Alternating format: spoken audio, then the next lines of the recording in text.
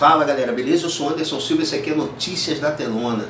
Segundo consta, o projeto do filme Coringa com Joaquim Fênix era tão mal visto pelos CEOs da Warner que eles reduziram o orçamento do filme para míseros 55 milhões de dólares.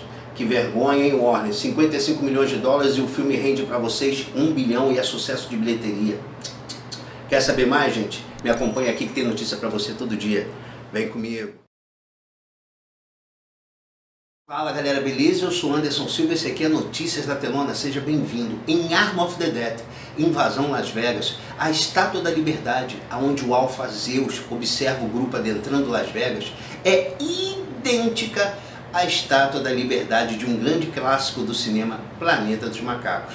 Você sabia disso? Sabia não? Com certeza. Quer saber mais? Me acompanha aqui que vem notícia todo dia para você.